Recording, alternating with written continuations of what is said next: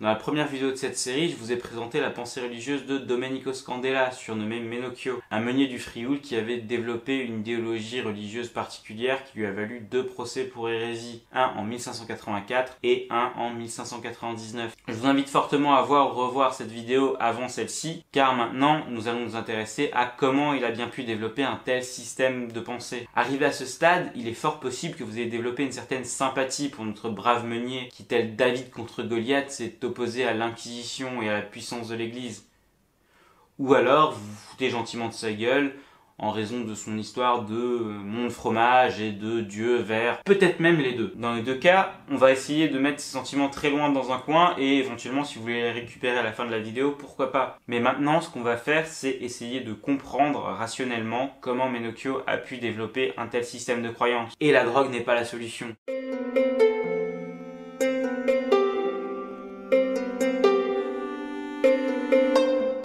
Première idée que l'on peut avoir, c'est de se demander si les réformes protestantes n'ont pas influencé Menocchio. fait généralement commencer les réformes en 1517, date à laquelle Martin Luther placarde sur les portes de l'église de Wittenberg ses 95 thèses afin de dénoncer les indulgences. Vous savez, le commerce des tickets vous êtes libéré du purgatoire. Très rapidement, Luther a solidarisé une communauté autour de ses idées, et d'autres réformateurs sont apparus, comme Jean Calvin qui a réformé la ville de Genève. Déjà à la fin du XVIe siècle, les réformes protestantes sont une nébuleuse idéologie où les différents groupes ne sont pas d'accord entre eux. Il y a néanmoins certains points communs évidents entre ces groupes, et certains points communs avec ce que pense Menocchio.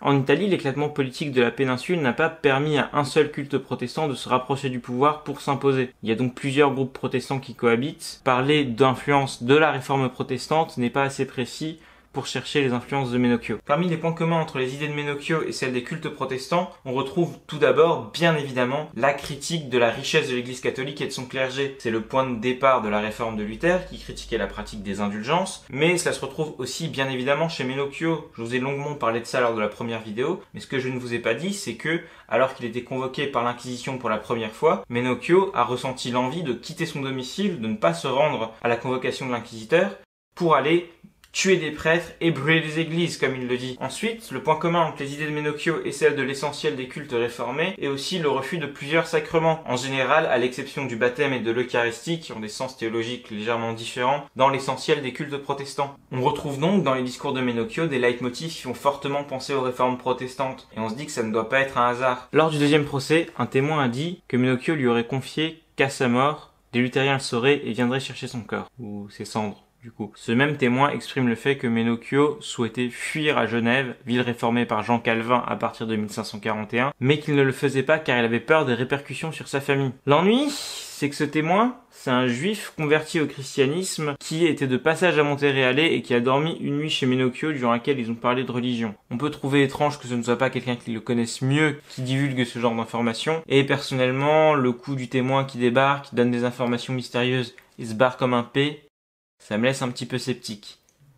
D'autant que c'est pas la seule chose mystérieuse qu'il dit dans son témoignage. Et puis, Menocchio a aussi dit, je crois qu'est luthérien celui qui enseigne le mal et mange de la viande le vendredi et le samedi. Ici, le terme luthérien désigne de manière très vague l'ensemble des cultes réformés, qui montre que le terme a un certain flou chez Menocchio. Même si dans ce cas, euh, Menocchio dit sûrement ce qu'il pense que l'inquisiteur veut entendre. Mais si Menocchio a été influencé par les réformes protestantes, comment a-t-il eu des contacts avec les églises réformées? Un groupe semble assez proche idéologiquement de ce que Menocchio pouvait défendre. Il s'agit des anabaptistes du nord de l'Italie, particulièrement présents en Vénitie, donc assez proche du Frioul et donc assez proche géographiquement de Menocchio. Les anabaptistes italiens refusaient la plupart des sacrements, y compris le baptême, alors que la plupart des autres groupes anabaptistes refusaient le baptême des enfants mais plébiscitaient le baptême à l'âge adulte. Ces anabaptistes avaient aussi une foi très pratique, basée sur l'imitation de l'exemple du Christ. Cela se caractérisait par le refus de la richesse au profit d'actions et de bonnes œuvres qui permettaient de se sauver, donc d'aller au paradis, grâce à son mérite. Cela impliquait donc la négation de l'efficacité des sacrements, mais aussi la négation de la divinité du Christ, qui est à ce moment-là un exemple à suivre plutôt que le Fils de Dieu qui est mort pour le rachat des péchés de l'humanité. On voit donc un bon nombre d'analogies avec les discours de Menocchio qui auraient certainement pu être influencés par les anabaptistes du nord de l'Italie.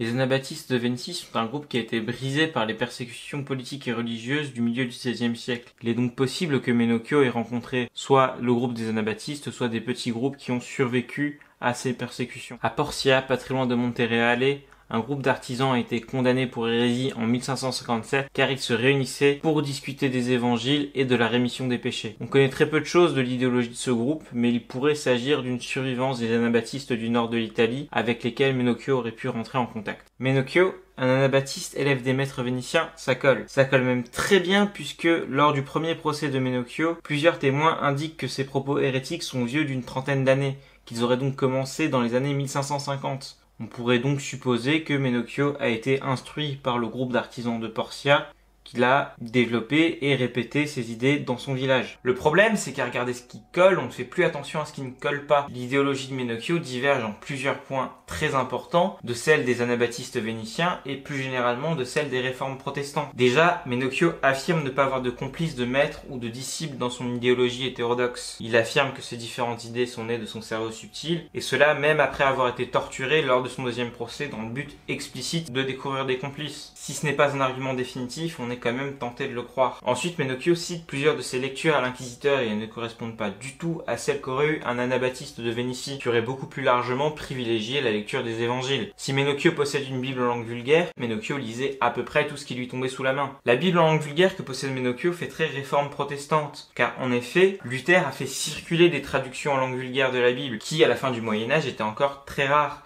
et disponibles en Europe quasiment que dans sa version latine, la Vulgate. Mais quand Menocchio cite un texte comme source de ses idées, eh bien sa préférence va très rarement à la Bible, qui là s'oppose totalement à une affiliation aux réformes protestantes. Du point de vue des idées, maintenant, Menocchio continue de se distinguer des anabaptistes de Vénitie en accordant une importance relative à la confession et à l'Eucharistie, même si cela ne le distingue pas nécessairement de tous les cultes protestants. De plus, Menocchio semble ne pas connaître les principaux termes techniques des polémiques autour des réformes protestantes, à savoir la justification, donc le salut de l'âme, et la prédestination, qui est une idée fortement développée par Calvin, qui indique que Dieu aurait destiné une partie de l'humanité à la vie éternelle, donc à la justification, et une partie de l'humanité à la damnation, et qu'on ne peut pas y faire grand-chose. Dans l'Italie du XVIe siècle, ces deux termes étaient fortement discutés, dans les milieux réformés bien évidemment, mais plus largement dans l'essentiel des milieux intellectuels. Et si on en croit les rapports du Saint-Office, c'était des termes qui étaient fortement discutés dans l'essentiel des milieux urbains de l'Italie. Si Menocchio avait reçu un enseignement d'un quelconque culte protestant, il connaîtrait ces deux termes. Et ce qui enfonce le clou de l'hypothèse de Menocchio adepte d'un culte réformé, c'est qu'étrangement, il est favorable à la pratique des indulgences. Je crois qu'elles sont bonnes, parce que si Dieu a mis à sa propre place un homme, le pape, il envoie un pardon. C'est comme si on le recevait de Dieu, puisque les indulgences sont données en quelque sorte par son agent. Pour résumer tout ça, il y a des points communs indéniables entre les idées diffusées par les réformes protestantes et celles soutenues par Menocchio lors de ses procès pour hérésie, ce qui montre une influence de ce contexte dans la formation de la pensée de Menocchio. Mais il y a aussi beaucoup trop d'éléments de divergence pour que les réformes protestantes soient la principale source des idées hétérodoxes de Menocchio. Et puis Luther et Calvin, ils auraient certainement avalé leur cuillère devant un meunier qui leur explique que le monde est un fromage et que Dieu est un verre sorti de ce fromage. En brisant l'unité religieuse de l'Occident, les réformes protestantes ont déclenché une vague de discussions théologiques et une certaine insécurité face à la foi, y compris chez les classes populaires, des zones où différentes idéologies religieuses cohabitaient. C'est le cas par exemple en Vénitie. Ces polémiques théologiques et l'insécurité religieuse qui va avec ont certainement permis à Menocchio de développer certaines de ses idées et éventuellement de se sentir légitime à les exprimer tout haut. La religion c'est le bordel, admettez-le. Alors laissez-moi prier ce que je veux tranquille? Et finalement, la reprise de pouvoir de la contre-réforme a activement cherché à condamner les idéologies divergentes, qu'elles soient chez les personnes éduquées comme Giordano Bruno ou chez les personnes issues des classes populaires. Mais ni les réformes ni la contre-réforme ne permettent de pleinement comprendre la construction de la pensée religieuse de Menocchio. Il nous faut donc chercher ailleurs.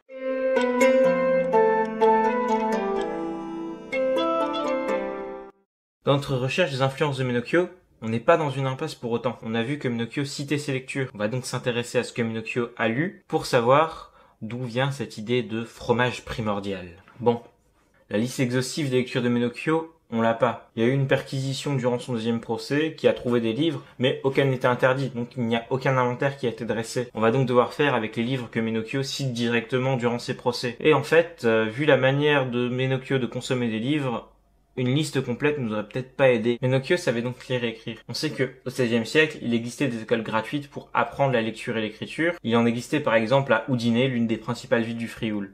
Est-ce qu'il en existait une à Montereale C'est possible dans la mesure où, entre ces deux procès, Menocchio a été professeur de lecture et d'écriture, certainement dans son propre village. Il est difficile d'avoir une idée générale de l'alphabétisation au XVIe siècle. On étudie généralement ce type de phénomène à partir du nombre de signatures manuscrites sur les actes de mariage. Or, on conserve vraiment bien ces sources qu'à partir du XVIIe siècle. En revanche, on sait qu'à partir de la fin du Moyen Âge, il existait dans les campagnes des écoles pour apprendre la lecture et l'écriture gratuitement. On sait aussi que bon nombre de paysans pouvaient signer des contrats et attribuer une certaine valeur aux contrats signés, donc ils avaient certainement les moyens de savoir ce qu'il y avait écrit dessus. Donc la pratique au minimum de la lecture devait être à peu près courante dans les campagnes au XVIe siècle. Pour donner une idée de la complexité que peut poser le fait de déterminer le rapport à l'alphabétisation des classes populaires, prenons un exemple. Zianuto, le fils de Menocchio, a fait parvenir à son père une lettre durant son premier procès. Il l'a fait écrire par le prêtre Odorico Vorai, certainement sous la contrainte. On peut donc supposer que Zianuto n'était pas à l'aise avec l'écriture. En revanche, il est très probable que Zianuto sache assez lire pour surveiller ce que Vorai allait écrire, puisque, rappelons-le, Odorico Vorai est d'ailleurs la personne qui a dénoncé Menocchio à l'Inquisition. Et ça, on est à peu près certain que Zianuto le savait. À partir du développement de l'imprimerie, les livres sont moins rares, moins chers, et donc peuvent circuler dans les milieux populaires. D'autant plus que Venise était un grand centre d'imprimerie, notamment pour les livres favorables aux réformes protestantes. Dans la communauté villageoise de Montereale, il y a donc des gens qui lisent. Même plus, le livre imprimé est un objet de consommation courant. L'un des livres mentionnés par Menocchio a été détruit par inattention. Il a pris l'eau. Deux autres ont été détruits car il s'agissait d'ouvrages interdits. Le prêt en particulier semble avoir été la norme dans l'entourage de Menocchio où plusieurs personnes se prêtaient des livres. Menocchio ne savait donc pas sur quoi il tombait quand il satisfaisait son envie de lecture, à l'exception peut-être du Fioretto della Bibbia qu'il a lui-même acheté à Venise pour deux sous. Les lectures de Menocchio sont donc plutôt hétérogènes car issues des hasards des livres arrivant en sa possession.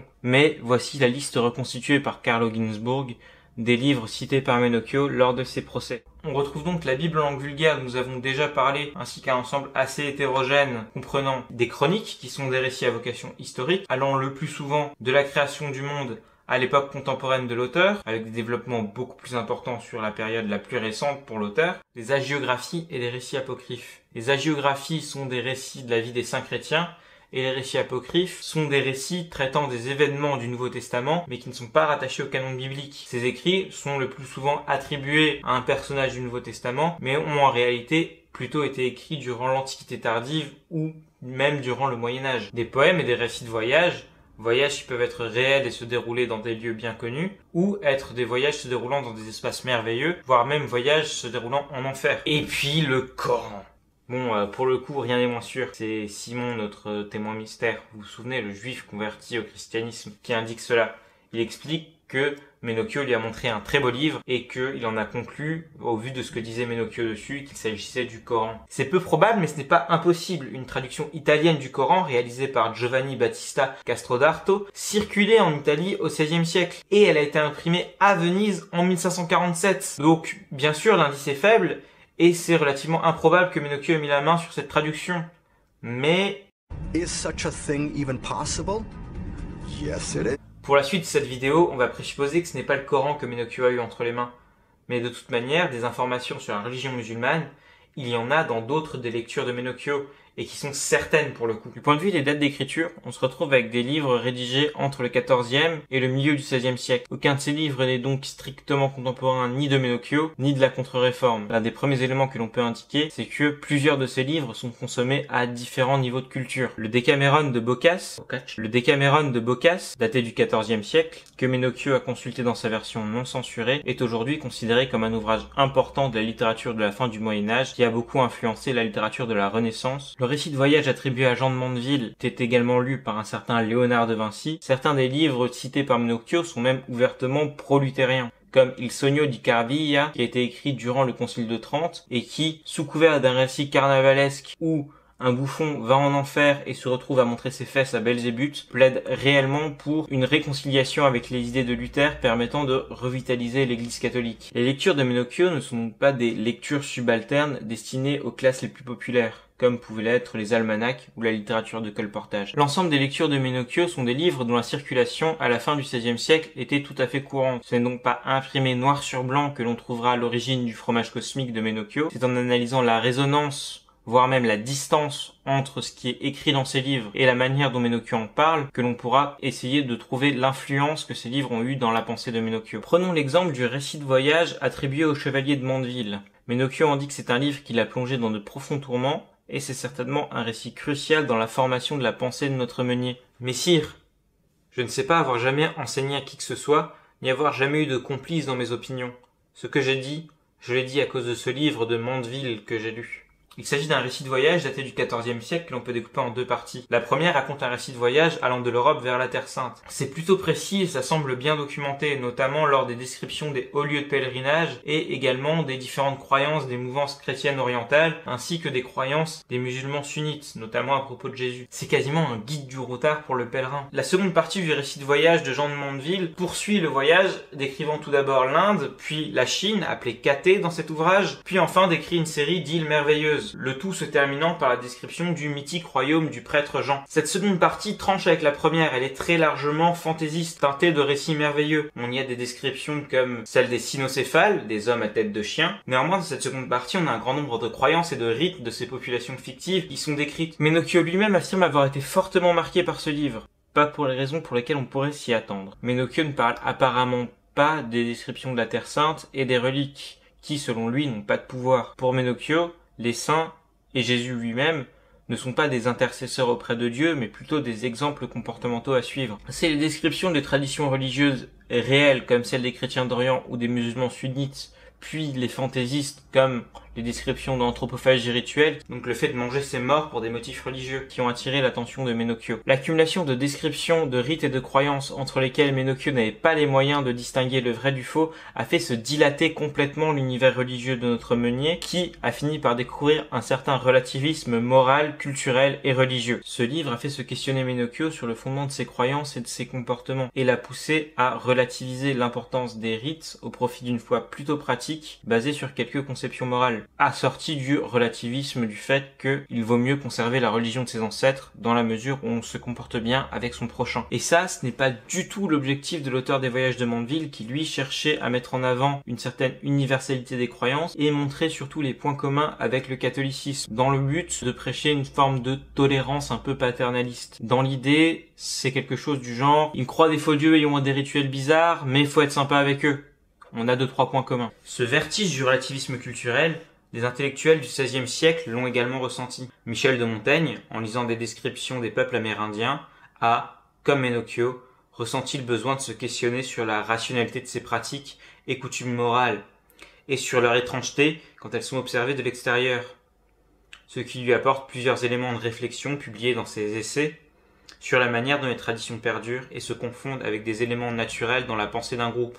Bartholomé de Las Casas, en défendant lors de la controverse de Valladolid en 1550 une égalité entre les Amérindiens et les Européens, est également un exemple de ce relativisme que l'ouverture sur le monde a pu causer chez quelques personnes au XVIe siècle. Las Casas, exprimant par exemple le fait que les sacrifices humains attestés chez les Aztèques ont une rationalité car les sacrifiés donnent aux dieux ce qui a le plus de valeur, leur vie, alors même que cette pratique est totalement réprouvée par la théologie chrétienne. Si la lecture de Mandeville a causé un choc pour Menocchio, on ne se retrouve pas ici face à l'origine de l'ensemble de ses croyances divergentes. Menocchio n'a lu ce livre qu'environ 5 ans avant son premier procès, alors que cela faisait une trentaine d'années qu'il tenait des propos blasphématoires. La lecture qu'il fait de ce récit de voyage l'a donc plus probablement amené à prolonger une pensée qu'il avait déjà, à savoir un relativisme absolu quant aux croyances des autres dans la mesure où on se comporte bien avec son prochain. Oui, Menocchio théorise un peu moins que Montaigne. Ce qui nous amène à parler de la distance entre les textes de ses ouvrages et la manière dont Menocchio raisonne dessus. Déjà, il n'attribue pas nécessairement une autorité particulière au livre qu'il lit. Si posséder une Bible en langue vulgaire a été particulièrement noté par plusieurs témoins, Menocchio ne lui accorde pas une autorité particulière. Il préfère même citer des écrits apocryphes issus du fioretto de la Bible. En effet, cela va parfaitement avec son idéologie puisque Menocchio considère que le message divin peut être résumé en quatre mots et que le reste de la Bible sont des ajouts des hommes. On voit donc que cette manière de penser rend totalement obsolète l'idée d'un canon biblique supérieur en autorité aux écrits apocryphes. Mais surtout, il fait passer les textes qu'il lit au moule de ses idées préconçues. Il tord le texte de ses lectures, les rumine, y réfléchit afin de les intégrer dans son schéma de pensée et de se servir de ses lectures comme d'exemples soutenant ses idées hétérodoxes. Il a un très gros biais de confirmation. Les transformations qui s'opèrent entre ce que Menocchio lit et la manière dont il cite ses lectures vont parfois jusqu'au contresens. Cela est tout à fait notable sur la question de la divinité du Christ. Menocchio, en citant des ouvrages apocryphes et hagiographiques au sujet de la Vierge Marie, en arrive à nier la virginité de Marie et par corollaire, la divinité du Christ. Or, il s'agit d'ouvrages qui donnaient une place toute particulière à la Vierge Marie. En citant un épisode de la Leyenda Aurea, que Minocchio appelle Vie de la Madone, il explique que la Vierge Marie a moins de dignité que l'impératrice, que Minocchio a vu passer en procession une fois. Et cela, il l'explique car dans ce récit hagiographique, un passant s'attaque au cortège funéraire de la Vierge Marie. Or, dans le récit hagiographique, cette attaque donne lieu à un miracle provoqué par la Vierge Marie, supposé la placer au-delà des vicissitudes de la vie et montrer sa sainteté toute particulière. Je veux dire, dans le récit de la Leyenda Aurea, la Vierge Marie fait tomber malade un homme qui s'attaquait à sa procession funéraire. Et ce dernier est soigné et pardonné lorsqu'il prononce une profession de foi autour de la virginité de Marie, du fait qu'elle est mère du Christ, fils de Dieu, et que le Christ est divin. On est donc très loin de ce que Menocchio en tire. Les lectures de Menocchio ne sont donc pas une porte ouverte vers le fond de sa pensée, et c'est bien normal. C'est cette grille de lecture avec laquelle il analyse tout ce qu'il lit qu'il nous faut maintenant étudier, ce qui peut nous poser problème, car ça veut dire qu'il va nous falloir nous interroger sur des éléments qui ont laissé beaucoup moins de sources écrites. La culture orale des milieux paysans.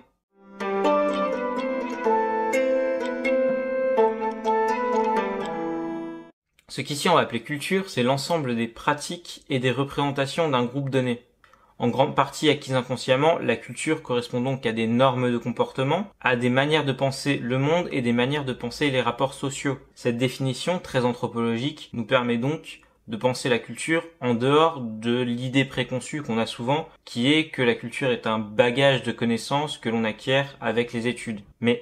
Ayant dit cela, on se retrouve face à un autre problème. L'ensemble des pratiques et des représentations des paysans du Frioul à la fin du XVIe siècle, ça a laissé peu de traces. Aucune source directe en tout cas. Au mieux, on aurait des descriptions, des prescriptions et éventuellement des punitions toutes issues de membres de la culture dominante envers des membres de cette culture. Et c'est peut-être là que les procès de Menocchio vont nous être utiles à comprendre cette culture paysanne, comme la force coercitive de l'Inquisition qui impose le moule de la culture des élites, qu'on connaît bien, ou écarte ce qui ne peut réellement pas rentrer dedans. Mais Menocchio est un meunier qui sait lire et écrire et qui cite comme source de ses idées une série d'ouvrages qui pouvaient toucher d'autres paysans, mais qui étaient surtout écrits pour des membres des élites intellectuelles. Clairement, Menocchio n'est pas représentatif d'une culture paysanne du XVIe siècle. Mais ce n'est pas pour cela qu'il n'est pas influencé par l'univers culturel dans lequel il évolue. Et c'est là que l'analyse de Carlo Ginzburg est novatrice. Il a choisi d'analyser la dissonance entre d'un côté ce que dit et probablement pense Menocchio, et de l'autre côté les questions qui sont posées par l'inquisiteur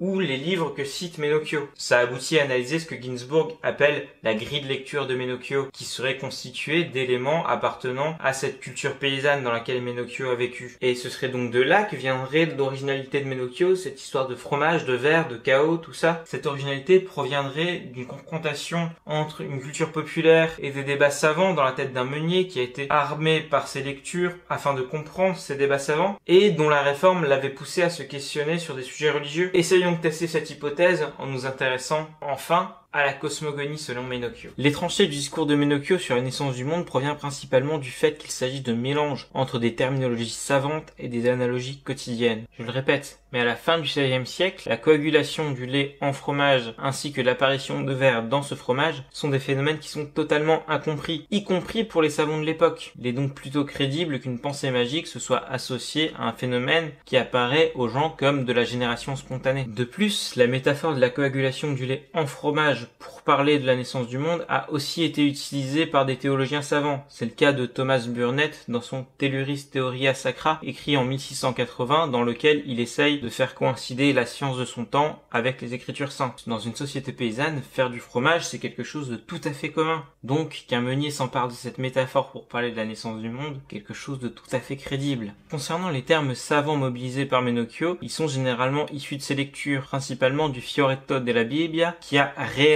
introduit Menocchio au débat théologique savant. Mais la notion de chaos, si importante dans sa cosmogonie, il l'a découverte dans le Supplementum Supplementi delle Croniche de Jacopo Filippo Foresti. En début d'ouvrage, il essaye de réconcilier la Genèse avec le récit de la naissance du monde dans les Métamorphoses d'Ovide. C'est dans cet ouvrage-là que Menocchio a découvert la notion de chaos dans la définition qu'il utilise. J'ai dit que, à ce que je pensais et croyais, tout était chaos. C'est-à-dire air, terre, et feu tout ensemble. Si Menocchio part de cette notion savante du chaos, il y greffe un tissu de métaphores qui proviennent de son expérience quotidienne et qui lui permettent d'exprimer sa pensée. Et ces métaphores, contrairement au Fioretto della Bibbia ou au Telluris Theoria Sacra, ne sont pas là uniquement dans un but didactique. Elles ont une valeur créatrice de sens. En développant ces métaphores, Menocchio développe concrètement sa pensée. Ainsi, la métaphore culinaire autour du fromage est développée par Menocchio. Je crois que le Dieu éternel a extrait de ce chaos dont j'ai parlé la lumière la plus parfaite. Comme on fait pour le fromage dont on retire le plus parfait.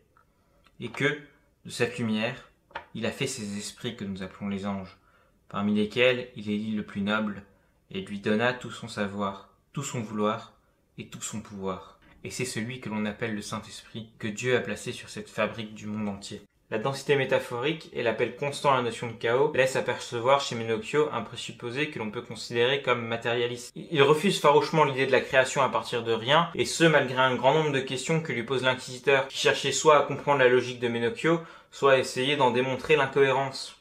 S'il n'y avait pas eu cette substance à partir de laquelle ont été produits tous ces anges, s'il n'y avait pas eu de chaos, Dieu aurait-il pu construire toute la machine du monde à lui seul? Je crois que l'on ne peut rien faire sans matière, et que Dieu non plus n'aurait rien pu faire sans matière. Ce que vous appelez Dieu est-il fait et produit par quelqu'un d'autre? Il n'est pas produit par d'autres, mais il reçoit son mouvement du mouvement du chaos, et va de l'imparfait au parfait. La métaphore aboutit à parler d'un mouvement allant de l'imparfait, le lait ou le chaos, vers le parfait, le fromage ou Dieu, en affirmant, avec un matérialisme radical, que la création à partir de rien est impossible. Cette idée pourrait être associée ici à une culture paysanne attachée à la terre et vivant de l'agriculture, ce qui expliquerait l'empirisme dans le discours de Menocchio et la densité métaphorique, la pensée abstraite étant souvent associée à l'écrit. D'autres éléments du discours de Menocchio renvoient à cet empirisme qui dégueule de métaphores quotidiennes l'un des plus importants étant l'adéquation dans son esprit entre le macrocosme et le microcosme. La liturgie et la théologie chrétienne appellent très régulièrement Dieu Seigneur. Et pour nous, ça passe presque inaperçu, mais pour Menocchio, ça veut dire beaucoup. Ça veut dire que Dieu se comporte ou devrait se comporter à la manière d'un seigneur féodal tel qu'il les connaît. Pour Menocchio, le propre d'un seigneur est de ne pas faire les choses par soi-même, mais d'envoyer des agents. C'est pour cela que dans sa cosmogonie, Dieu ne crée pas directement le monde, mais en donne l'ordre. Et c'est le Saint-Esprit et les anges qui lui servent de main-d'œuvre. Dieu pouvait-il faire toute chose de lui-même sans aide des anges? Oui, comme quelqu'un qui pour bâtir sa maison emploie des maîtres et des compagnons, et on dit ensuite que c'est lui qui l'a bâti. De même, dans la construction du monde, Dieu a employé les anges, et on dit ensuite que c'est Dieu qui l'a fait.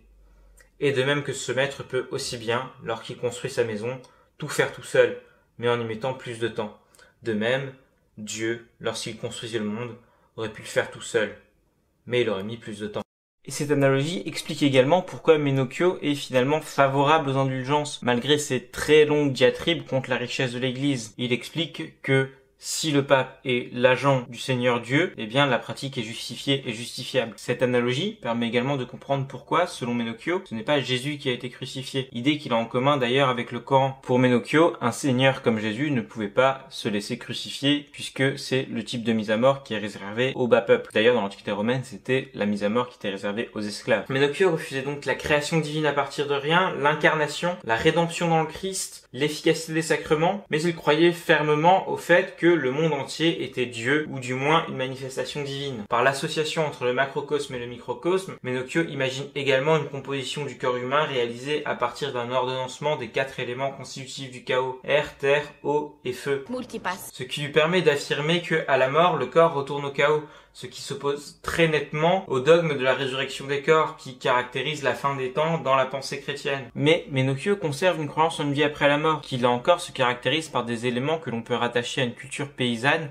marquée par le travail de la terre. Pour Menocchio, le paradis, c'est une fête permanente caractérisée par la cessation du travail. Là-haut, on n'a pas besoin vrai. Je crois que c'est un endroit qui entoure le monde entier, et que, de là, on voit le tout autour du monde même les poissons dans la mer.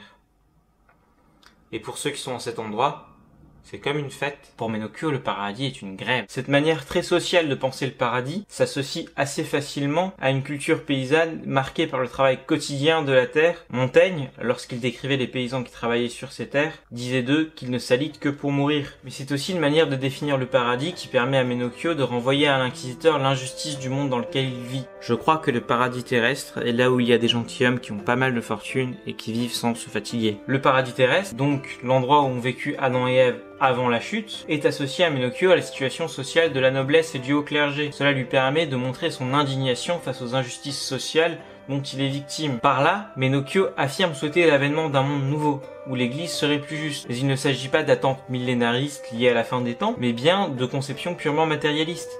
Menocchio souhaite une transformation de la société dans laquelle il vit, l'amenant vers une société plus égalitaire. Si un substrat de culture paysanne est donc révélé par le discours de Menocchio, on peut le décrire de la manière qui suit. Tout d'abord un certain matérialisme ou empirisme qui s'oppose à l'abstraction des débats théologiques qui est bien plus caractérisé par la culture écrite savante. On découle une religion qui s'articule principalement autour de prescriptions morales entre les membres de la communauté. Et on a une représentation du paradis qui est perçue comme la cessation du travail. Ça paraît assez faible compte tenu des longues descriptions de Menocchio sur le monde, mais il s'agit de points centraux de sa pensée. De plus, ces points sont assez régulièrement discordants avec d'autres éléments du discours de Menocchio. De fait, Menocchio n'arrive pas à créer un système cohérent de bout en bout.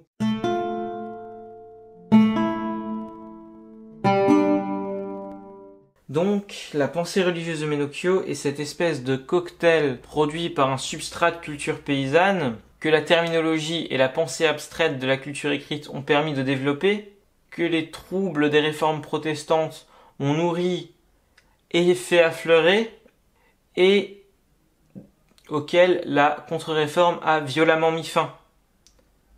Le tout nourri par le cerveau subtil de Menocchio. Si on essaie d'expliciter ça avec les outils d'analyse culturelle, on observe assez bien ce que Michel Espagne, dans un article daté de 2012, appelle des transferts culturels. Tout passage d'un objet culturel d'un contexte dans un autre a pour conséquence une transformation de son sens, une dynamique de resémantisation qu'on ne peut pleinement reconnaître qu'en tenant compte des vecteurs historiques du passage. En gros, l'idée c'est que comme au téléphone arabe, lorsqu'un élément issu d'une culture particulière est intégré dans une autre, il est transformé, car intégré dans une autre culture, un nouveau rapport au monde et d'autres systèmes de pensée. Or, l'étude de ces passages permet de comprendre les transformations dans leur contexte vis-à-vis -vis de cet objet culturel et donc de comprendre le rapport de la culture de départ et celui de la culture d'arrivée avec cet élément culturel. Et c'est bien ça que Carl Ginsburg pointait du doigt en 1976 lorsqu'il affirmait que Menocchio lisait des livres issus de la culture savante, mais au travers d'une grille de lecture constituée d'éléments issus de la culture paysanne. Menocchio réinterprétait et donnait un nouveau sens à ses lectures. Mais est-ce un hasard si c'est Domenico Scandella di Menocchio, un meunier du Frioul, qui a fait ça? Eh bien, pas totalement. Dans la première vidéo de cette série, j'ai parlé de la place particulière qu'avait le meunier dans une communauté paysanne. Place qui donnait au meunier plus d'aisance économique qu'à la plupart des autres membres de la communauté. Mais maintenant, nous allons voir l'importance sociale que cela lui donne. Et nous allons voir surtout en quoi le meunier peut être le passeur culturel idéal entre la culture des élites et celle des paysans. L'historien médiéviste Jacques Le Goff, lorsqu'il défendait son découpage chronologique alternatif du long Moyen Âge, allant de la christianisation progressive de l'Empire romain à l'industrialisation mettait en avant l'importance technologique du moulin pour ces sociétés. Mais ce qui nous intéresse ici, c'est que socialement, le meunier est dans sa communauté paysanne l'une des personnes qui a le plus de contact avec le seigneur. Ce lien particulier avec le seigneur vient du fait que souvent le seigneur gardait le privilège de la mouture, c'est-à-dire de la propriété des moulins, que le meunier lui louait, mais donc le meunier avait beaucoup plus souvent que les autres membres de la communauté paysanne l'occasion de discuter avec le seigneur oranger, sur un eau, un volette, sur un eau, un volet, sur un eau, Et en Italie, au XVIe siècle, avoir la possibilité de discuter avec des membres de la noblesse, ça signifie potentiellement avoir un accès à la culture humaniste. De plus, le moulin est un lieu de passage. On rentre comme dans un moulin, ce qui signifie que le meunier était amené à discuter et à débattre tout au long de la journée avec un plus grand nombre de personnes que la plupart des autres membres de sa communauté. D'une certaine manière, c'est comparable à un aubergiste ou à notre époque à un coiffeur. Cette caractéristique, probablement mêlée à la réputation de voleur de grains qu'ont les meuniers dans les poèmes et fabliaux, a fait que à la fin du Moyen Âge et au début de l'époque moderne, les meuniers étaient systématiquement soupçonné de partager des idées hérétiques, notamment liées aux réformes protestantes. Le poète Andrea Bergam dit qu'un vrai meunier est à moitié luthérien. Et cette proximité avec des personnes issues de milieux sociaux différents, ça se voit chez Minocchio dans la liste des gens qui lui ont prêté des livres. On peut retrouver un artiste ingénieur, un chapelain et même un noble. Et ce qui peut nous amener à conclure sur le fait que le meunier est un très bon passeur culturel entre les cultures des élites et les cultures paysannes, c'est qu'on a un autre exemple et qu'on peut comparer. On connaît un autre meunier italien de la fin du XVIe siècle qui a suivi un procès pour hérésie et qui a un profil similaire à celui de Menocchio. Pellegrino Baroni, dit Pigino, son surnom ça veut dire le gras, est également un meunier italien qui a dû subir un procès pour hérésie, lui en 1570. Il avait défendu des idées similaires à celles de Menocchio, comme par exemple la non-efficacité des sacrements et aussi que, une fois mort, le corps retourne intégralement à la terre. Il semble que pour Pigino, il n'y avait pas de paradis du tout. Ce dernier, comme Menocchio, cite ses lectures, parmi lesquelles on retrouve principalement la Bible en langue vulgaire et le Fioretto della Bibbia. On a donc des analogies très frappantes entre le discours de Pigino et celui de Menocchio. Mais pour Pigino, on a une hypothèse de contact plus étroit avec la noblesse et la culture humaniste. En effet, Pigino a servi chez Vincenzo Bolognetti, un noble de Bologne, et là, il aurait pu y rencontrer l'hérétique Paolo Ricci, formé à la culture humaniste. Cet humaniste a servi chez les Bolognetti, donc Pigino aurait pu être au contact de cet humaniste hérétique. Mais Menocchio comme Pigino ont tous deux affirmé une indépendance intellectuelle. Je pense qu'on peut tous les deux les voir comme des passeurs culturels entre une culture des élites proche de l'humanisme et des cultures paysannes de leur temps. Ce qui me semble nettement plus probable que de supposer qu'ils sont tous deux affiliés à un dogme secret qui n'a laissé aucune autre source et qu'aucun des deux ne cite. Les transformations liées au transfert culturel opéré par ces deux meuniers ont été jugées inacceptables par le Saint-Office, l'inquisition romaine les ayant tous deux condamnés. Mais ces transformations elles nous permettent aussi de nous interroger sur les contenus et l'importance de la culture paysanne au XVIe siècle. Et donc, elles nous permettent de faire une histoire culturelle qui n'est pas celle des puissants.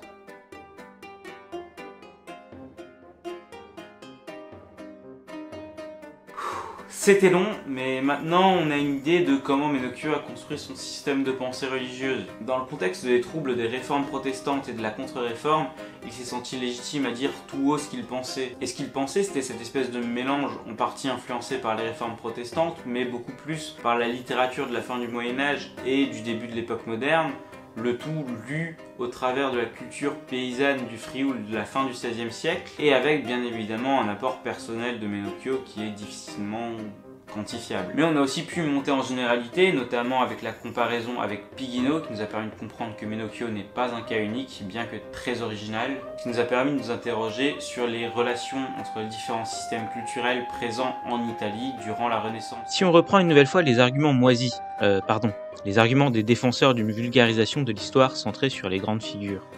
On avait déjà montré qu'il est tout à fait possible de procéder à une mise en récit en s'intéressant à un individu issu des catégories populaires. Le cas de Menocchio nous montre aussi clairement qu'une personne ne peut incarner l'histoire, mais plutôt des questionnements historiques avec des différences importantes en fonction de la catégorie sociale de la personne choisie. Il est donc totalement faux de dire qu'un dominant permet de raconter une époque mieux qu'un dominé. Dans la prochaine vidéo, on verra à quoi ça sert pour l'historien d'étudier ces cas un peu hors normes, un peu exceptionnels, un peu très bizarres, un peu tout chelou. Et on conclura sur comment la vulgarisation de l'histoire peut se saisir de ce genre de personnage.